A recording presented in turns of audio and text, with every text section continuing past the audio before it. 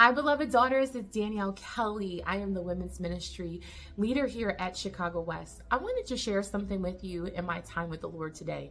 It ties to our sermon series that we've been in, um, following the life of Elijah. After Ahab dies, uh, the Lord appoints a new king, and that is Jehu. And he tells Jehu to go and kill all of Ahab's descendants and he tells him to get rid of Jezebel. And that's exactly what he does. He he follows the Lord's instructions and it's pretty bloody as you read through his account in Second Kings. And there was even a part in Second Kings chapter 10 where Jehu gathers all the Baal worshippers and he he gathers them and he kind of fakes them out and he makes them believe that he's going to worship Baal too, but it was a way to set them up so he could get them all gathered together and kill them. So you would think that Jehu has a lot of zeal for the Lord. There's even a part in the scriptures that he challenges other like, join me if you have zeal for the Lord. But it's really interesting. I want to share at the end of his reign you get to Second Kings chapter 10, verse 28, and it says, Then Jehu wiped out Baal from Israel. But Jehu did not turn aside from the sins of Jeroboam, the son of Nebat, which he which he made Israel to sin. That is the golden calves that were in Bethel and in Dan. So stop right there. So Jehu obeys the Lord and he gets rid of the Ahab's descendants. He gets rid of Jezebel. He even gets rid of Baal worshippers and gets clears the land of Baal. But what he doesn't do is fully turn his heart to the Lord. The scripture says he turned but Jehu did not turn aside from the sins of Jeroboam, Jeroboam, the son of Nebat, which he made Israel to sin. That is the golden calves that were in Bethel and, and Dan.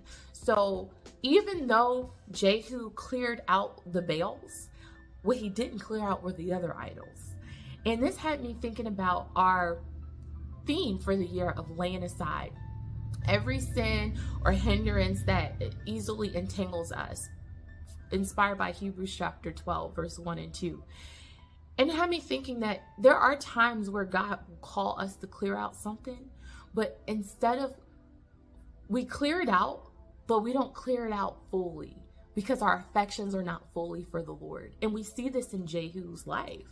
Jehu, if he had a full zeal of God, his zeal for God should not have turned him to any cat, golden calves, but it did. And it had me thinking, how many times do we clear something, an idol out of our lives, but then we replace it and resurrect it with another one? Right now, the Lord is really dealing with me with food. Food has been an idol for a long time in me um, in my life. And this is an idol that he's like, it's time for you to let it go. And what I mean by that is I overeat, I emotionally eat. I go to I go to food when I'm happy, sad, mad, all of it.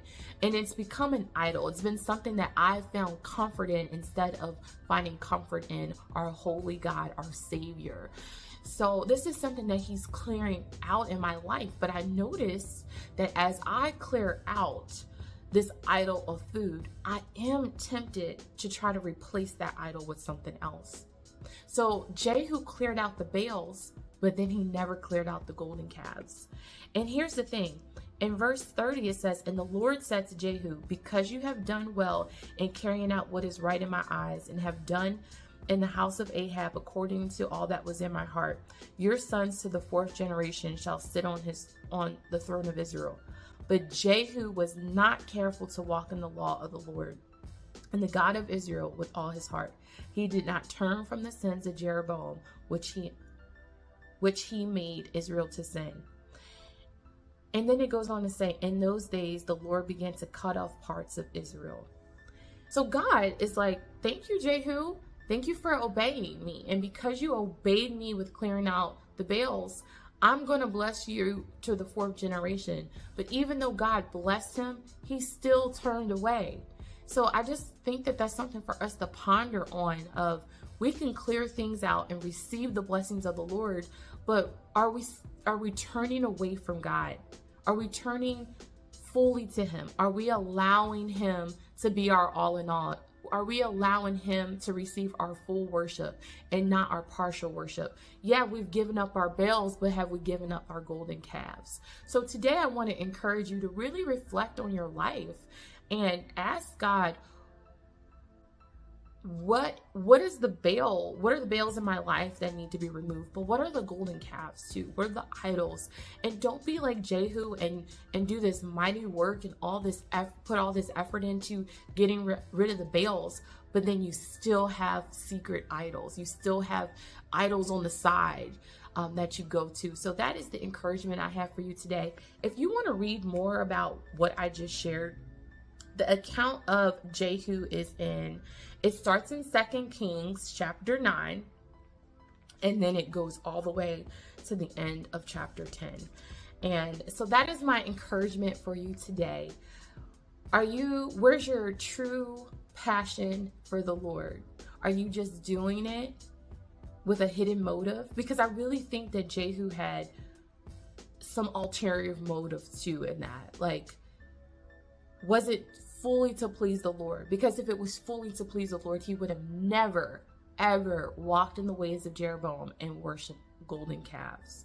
So, what are your motives? As God says, clear out your idols.